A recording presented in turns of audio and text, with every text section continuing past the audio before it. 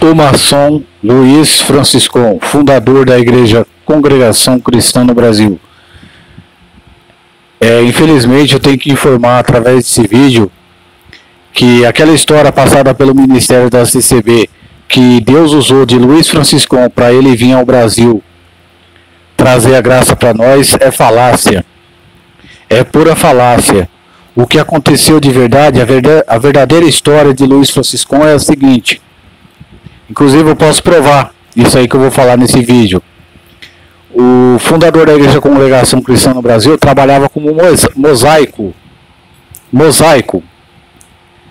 É, e, então, ele saiu da Itália, a, a liderança da CCB falou para a Irmandade, né, passou para a Irmandade por 120 anos que ele, que Luiz Franciscão, Deus mandou ele sair da Itália para vir aqui ao Brasil trazer a graça para nós, né? Mas a verdadeira história é, é a seguinte: Luiz Franciscon, ele estava desempregado, trabalhava com mosaico e saiu da, saiu da Itália em busca de emprego.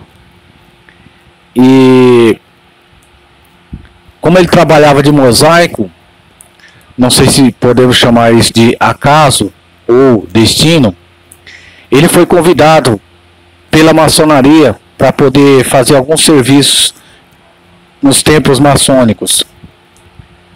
Lá ele fez, trabalhou muito tempo com maçonaria, como mosaico, que conhecido como pedreiro. E o que aconteceu? A maçonaria resolveu financiar Luiz Francisco, pagou. Lembra que eu fiz um vídeo aí é, Luiz Francisco, desempregado, viajou por mais de 30 países. Então, olha aí ó, a resposta. A maçonaria da Itália resolveu financiar Luiz Francisco para que ele espalhasse pelo Brasil e pelo mundo o pentecostalismo italiano. Por que isso? Porque a maçonaria é inimiga da Igreja Católica. Na época só existia, tinha algumas igrejinhas aí, mas não é igual hoje. Então, é, a maçonaria pagou para Luiz Francisco é espalhar o pentecostalismo. Quando eu falo espalhar o pentecostalismo, é criar uma igreja aqui, outra lá, igual Luiz Francisco fez. Ele fundou a igreja na Argentina, fundou uma igreja na, é, na Argentina, no Brasil. É, tem outros lugares aí que ele fundou também, em Roma. Quer dizer, a maçonaria financiou. Luiz Francisco trabalhou para a maçonaria, olha só. Eu tenho que comprovar isso aí, viu? Eu tenho que comprovar. Ele trabalhou para a maçonaria e através desse serviço, não sei se ele enturmou com os maçons lá que aconteceu, sei que ele recebeu uma missão muito bem remunerada. Espalhar o pentecostalismo italiano pelo Brasil e pelo mundo. E ele conseguiu. Veio, foi, na, foi na Argentina, veio no Brasil, foi em Roma, foi nos Estados Unidos, cada, cada local que ele visitou, ele deixou uma semente do pentecostalismo italiano. Então, como, conforme eu estava falando agora há pouco, né? A maçonaria quis destronar, que usou de Luiz Francisco para destronar a Igreja Católica e conseguiu. Ele, ela conseguiu. A Igreja Católica ganhou inimigos, né?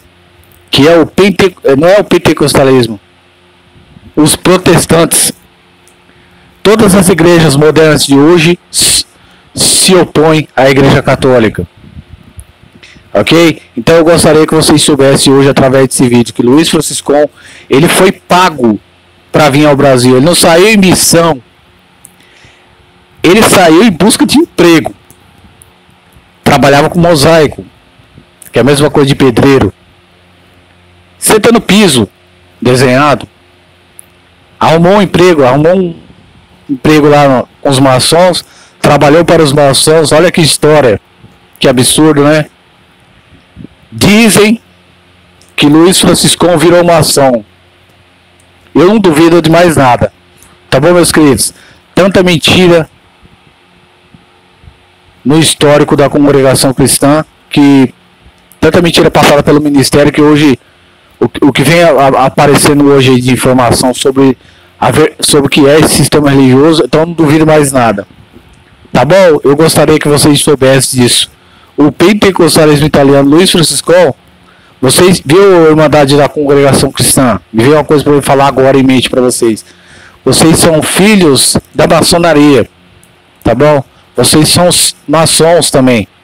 Se Luiz Francisco era maçom, vocês são maçons também. Tá bom? Eu fui maçom também na, na congregação cristã. Eu fui maçom da CCB. Eu cantei no maçom. Eu falei amém para pregações de palavra de anciões maçons. Aceitei o batismo de anciões maçons. Enfim, eu era maçom e nem sabia. Tá bom, meus queridos? É isso aí que eu ia falar nesse vídeo. Lembrando, o intuito aqui não é difamação nem calúnia. O intuito nosso é transmitir a verdade. O que eu estou falando aqui é a mais pura verdade. Tá bom? Eu gostaria que a Irmandade da Congregação Cristã tomasse ciência dessa informação. Luiz Francisco era um maçom. Ainda, ainda não conseguimos levantar a informação de qual, qual grau ele era. Tá bom? Ainda não temos essa informação. Sabemos que ele era um maçom, que ele trabalhou para maçonaria, que ele virou maçom e que ele ganhou muito dinheiro para vir espalhar o pentecostalismo, espalhar igrejas no Brasil e no mundo. E o pior, meus queridos, mais uma coisa que veio em mente para eu falar aqui para vocês, ó. Chegando no Brasil, ele foi recebido por maçons, ficou hospedado em templos maçons e os, e os primeiros cultos, as pessoas, primeiras pessoas que reuniu com ele lá, foi em templos maçons, cedidos pelos maçons. Outra coisa importante que me veio em mente para me falar agora aqui para vocês. Eu não tenho nada contra a maçonaria, viu? Eu não tenho nada contra a maçonaria. Esse vídeo também não é para difamar a maçonaria. Eu sigo, eu sigo uma página aí. Espera um pouquinho.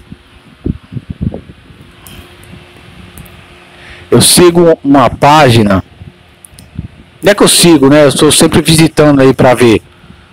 De maçons no Facebook. E a fraternidade, a união é, e o amor com o próximo é, é, visível entre os maçons. Eles são pessoas excelentes, é, são pessoas que uns ajudam os outros diferente do cristianismo, diferente dessas igrejas igual a congregação cristã, que só pensa em construir templo. Tá bom? Eu não vou entrar em detalhes aqui sobre os méritos, assim, sobre as qualificações, os pontos positivos dos maçons. Então, mas a, o assunto aqui é esse mesmo, ó. Não temos nada contra a maçonaria. O que nós, o que nós estamos desmascarando é as mentiras da congregação cristã, as mentiras desse sistema religioso tá bom? Que nem o Ministério da CCB. Eu ouvi isso, tá bom? Por muitos anos, o Ministério passava para a Irmandade que o Luiz Franciscão, que Deus revelou para ele, através de uma visão, para que ele viesse ao Brasil salvar um povo através de uma tal de graça. É só que a história é bem diferente disso aí, né? Luiz Franciscão saiu do, da Itália não para fundar igrejas. Ele saiu da Itália com a finalidade de procurar emprego, emprego, gente. Tá bom? Aí aconteceu dele arrumar emprego, esse, esse emprego, né? Na maçonaria, trabalhou muito tempo com os maçons, com certeza deve ter se enturmado lá, né? E os maçons resolveram usar daquele homem para poder espalhar o pentecostalismo italiano pelo Brasil e pelo mundo. A ideia de Luiz Francisco fundar 18 igrejas veio da maçonaria. Tá bom, gente? É isso aí que eu ia falar. Deus que abençoe a todos.